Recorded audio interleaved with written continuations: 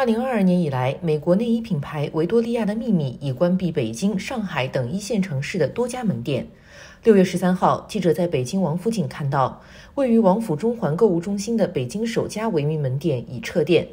专家分析称，此次撤店行为是时代潮流的大势所趋。这几年，电商、呃，移动终端的。呃，一些服务呀、消费呀，实际上是日益兴盛，所以对于一些传统的企业以及品牌而言，其实都面临了巨大的挑战。尤其是过去的所谓一些高阶品牌啊，它在国外的也不过是一个就是很中等的大众消费的这样的一个品牌，但是它初登中国市场的时候呢，往往呢，它就把自己的这个定的特别的高，其实它在国际上的定位并并非如此。那其实我们从维密身上呢，也。能看到这些影子，无论是品牌的影响力啊、美誉度啊，还有它的创新性啊，被新时代呃接受和识别的能力啊，实际上我觉得呃在目前的大潮流下都显得比较的捉襟见肘。维密的这个撤店行为也是一个时代潮流的大势所趋。自二零一六年以来，维密利润营收连年下跌，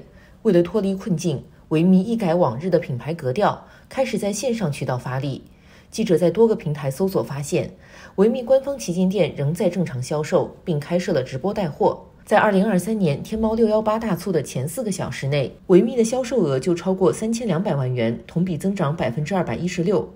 万哲表示，基于中国经济的快速发展及消费者消费观念的更新，线上布局已成为许多品牌发展的必然趋势。从去年财报看，哈，就是它整体的销售是下滑的，净利润也是下滑的。那么现在呢，实际上它也是在做一些调整，线下的一些销售策略，现在实际上呢，就是可能都会转向线上渠道。那这个转向呢，其实我认为也是一个整体商业销售模式和一个新零售趋势的变化。那国内呢，实际上也产生了一批新的品牌，而且呢。他们的商品啊、服务啊、品质啊，还有这种创新意识啊，实际上非常的强。然后在价格上呢，经常也有一些优势。所以未来想要在中国市场里面。呃，还能够有更好的呃发展，在一个新的场景当中，呃，怎么样再给自己一个重新的定位？我觉得可能会是一个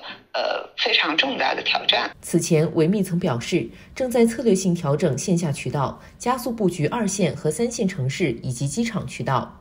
万哲指出，向下沉市场布局是现阶段维密寻求破局的生存之道。而能否打赢这场翻身仗，还需要品牌运营策略及产品研发同步发力。以维密为例，它可能就开始要放低自己的一个身段，哈，包括进入下沉市场啊等等。对于中国来说，下沉市场实际上还有巨大的潜力可以挖掘。嗯，但是当然，能不能在下沉市场里成功，还是要对这个下沉市场里面的特征啊，呃，它的这个渠道的特点啊，还有就是受众的呃喜好啊、偏好啊、方式啊，要有更加深切的了解，然后做出最好的这个战略判断和战略定位，来使你的商品和服务呃为这个市场所接受。